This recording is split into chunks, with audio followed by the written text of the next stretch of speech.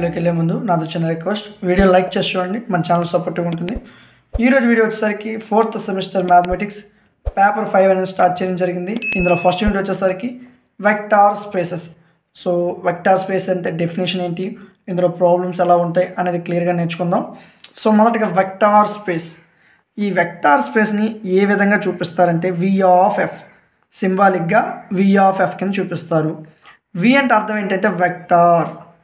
F అంటే field అని అర్థం. మనకి నార్మల్గా వెక్టార్లో ఎలా ఉంటాయో తెలుసు అందరికీ? I bar J bar K Barhni vectors అంటారని తెలుసు. బట్ ఈ చాప్టర్లో మనం alpha comma beta comma gamma తీసుకుంటాం. ఇక్కడ మీకు వెక్టార్స్ అని ఎక్కడైనా చూపించాలంటే ఈ ఎలిమెంట్స్ని యూజ్ చేస్తారు. అదేవిధంగా ఫీల్డ్లో ఎలా ఉంటాయి అంటే A comma B comma C గుర్తుపెట్టుకోండి. ఇలా మనకి ఆల్ఫాబెట్స్ కనిపిస్తే అవి ఫీల్డ్లో ఉన్నవి. ఈ విధంగా ఆల్ఫా బీటా గామాలు కనిపిస్తే అవి వెక్టార్స్ ఇది మెయిన్గా మనకు కాన్సెప్ట్ గుర్తుండాలి. సో ఫర్ ఇప్పుడు వెక్టార్ స్పేస్ అంటే ఏంటో చూద్దాం. Vector space. Mainly vector space అవ్వాలంటే మూడు కండిషన్స్ అవ్వాలి. Three conditions. ఫస్ట్ కండిషన్ వచ్చేసరికి vector with respect to addition is abelian group అవ్వాలి. అంటే వెక్టార్ అనేది ఎబిలియన్ గ్రూప్ అవ్వాలి. With respect to binary operation ఏంటి? ఎడిషన్. మనకి ఎబిలియన్ గ్రూప్ అంటే ఏమని తెలుసు? ఫైవ్ కండిషన్స్ ఫస్ట్ కండిషన్ ఏంటి? Closure second associative third identity fourth inverse fifth commutative ఈ ఫైవ్ లాస్ని ఒబే చేస్తే అప్పుడు వెక్టర్ అనేది ఏబిలియన్ గ్రూప్ అవుతున్నట్టు? విత్ రెస్పెక్ట్ బైనరీ ఆపరేషన్ ఏంటి? ఎడిషన్ సో ఈ విధంగా ఈ ఫైవ్ లాస్ని ఒబే చేస్తే ఏబిలియన్ గ్రూప్ అవుతున్నట్టు. ఇది ఫస్ట్ కండిషన్ గుర్తుపెట్టుకోండి first condition ఏమవ్వాలంటే vector with respect to addition అనేది ఏబిలియన్ గ్రూప్ అవ్వాలి. ఇదే కండిషన్ని ఇంకో విధంగా కూడా అంటాడండి. వెక్టార్ ఎడిషన్ అంటాడు. వెక్టార్ ఎడిషన్ అంటాడు. లేదా ఇంటర్నల్ కాంపోజిషన్ ఇంటర్నల్ కాంపోజిషన్ అంటాడు. జాగ్రత్తగా చూడండి. ఈ ఒక్క కండిషన్ని మూడు విధాలుగా మనం పిలవచ్చు.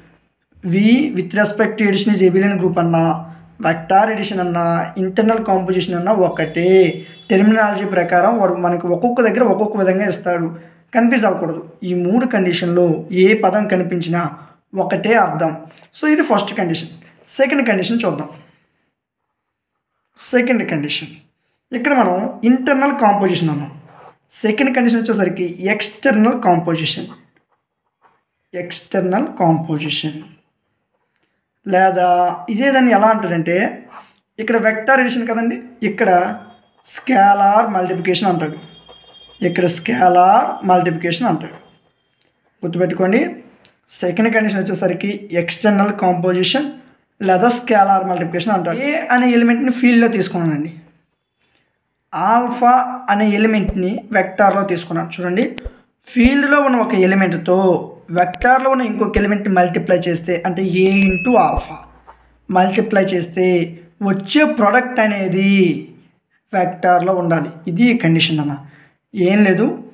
ఫీల్డ్లో ఉన్న ఒక ఎలిమెంటు వెక్టార్లో ఉన్న ఇంకొక ఎలిమెంట్ ఈ రెండు ఎలిమెంట్స్ మల్టిప్లై చేస్తే ఏ ఇంటూ ఆల్ఫా చేస్తే ఈ రెండు ఎలిమెంట్స్ యొక్క ప్రోడక్ట్ అనేది వెక్టార్లో వస్తే దీన్ని ఎక్స్టర్నల్ కాంపోజిషన్ అంటారు. అంతే. ఇది సెకండ్ కండిషన్ నెక్స్ట్ ఇప్పుడు థర్డ్ కండిషన్కి వెళ్ళిపోదాం.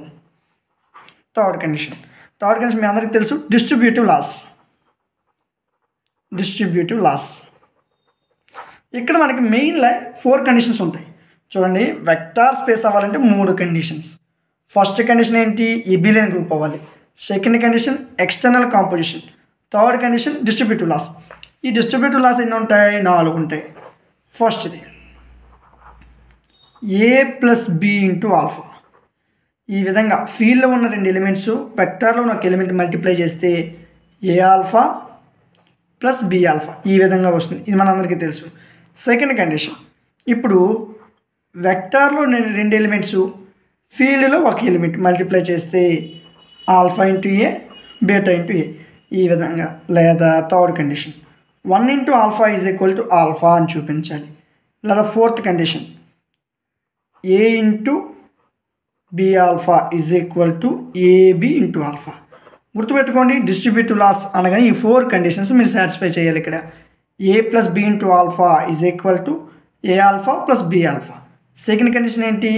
Alpha plus beta into A is equal to alpha A plus beta A ఇక్కడ మల్టిప్లికేషన్ చేసి రాశాను అంతే ఇంకేం లేదు. One into alpha is equal to alpha A into B ఆల్ఫాని AB into alpha కింద రాశాను. సో గుర్తుపెట్టుకోవాలి మీకు వెక్టార్ స్పేస్ అని చూపించమంటే మెయిన్లీ వెక్టార్ స్పేస్ చూపించాలంటే త్రీ కండిషన్స్ ఫస్ట్ కండిషన్ ఏంటి?